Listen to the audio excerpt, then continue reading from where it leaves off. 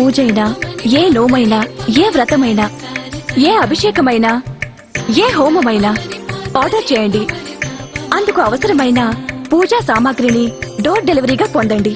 ఈ రోజే మీ పూజా సామాగ్రి కొరకు ఈ పూజా స్టోర్ డాట్ ఇన్లో లాగిన్ అవ్వండి.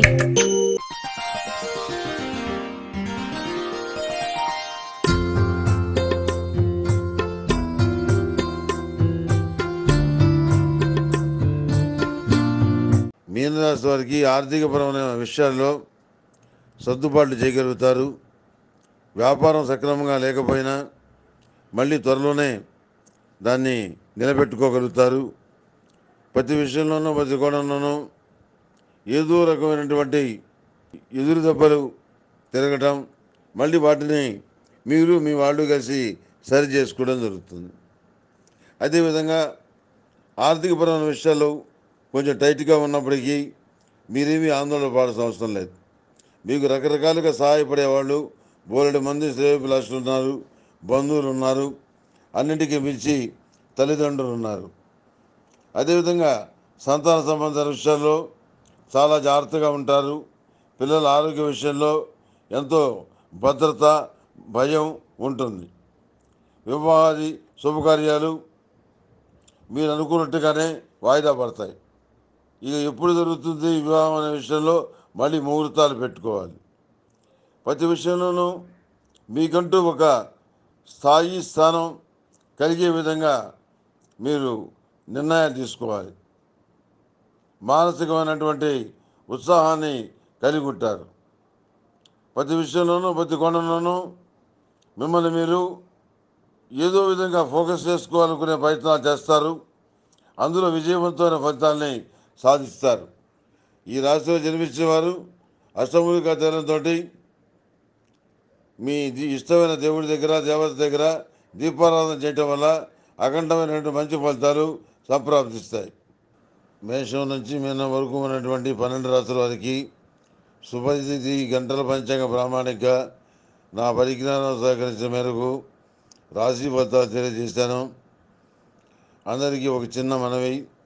మే ముప్పై ఒకటి జూన్ ఒకటి రెండు మూడు తారీఖుల్లో ప్రళయం వస్తుందని సముద్రాలు పొంగి జననష్టం సంభవిస్తుందని నానా బీభత్సాలు జరుగుతాయని కొంతమంది చెప్తున్నారు. హడలెత్తిస్తున్నారు సోషల్ మీడియాలో. మీరు పొరపాటు కూడా ఇలాంటి వాటిని నమ్మద్దు. మనసు పాడు చేసుకోవద్దు. మే ముప్పై ఒకటి ఒకటి రెండు మూడు. చక్కగా ఇంట్లో స్వీటు సేమ్యా చేసుకొని చక్కగా తినండి. ఎలాంటి ఉపద్రవాలు రావు. ఇట్లాంటి పుక్కిడి విషయాన్ని మీరు నమ్మద్దు అసలు. ఏమాత్రం పరిజ్ఞానం లేని వ్యక్తులు ఈ విధంగా ప్రచారం చేస్తున్నారు. రెండు వేల పద్దెనిమిది రెండు వేల పంతొమ్మిది వికారి నామ సంవత్సర పంచాంగంలో నూట డెబ్బై తొమ్మిదవ పేజీలో నేను రాశాను. దేశంలో హై అలర్ట్.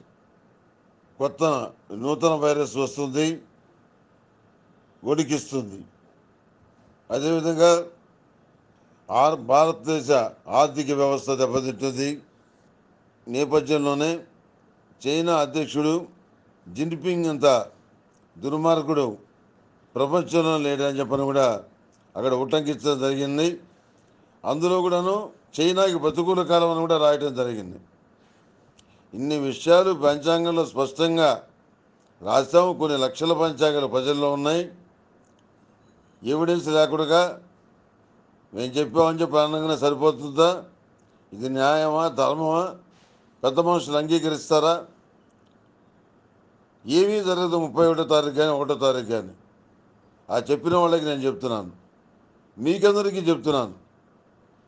నాకు వాళ్ళు ముఖ్యం కాదు. ప్రజలు ముఖ్యం. మీరు ఆందోళన పడద్దు. ఇట్లా దిక్కుమాలినటువంటి వాటిని కూడా మీరు ఎంకరేజ్ చేయొద్దు వినద్దు. మీరు బాగుండాలి బాగుంటారు.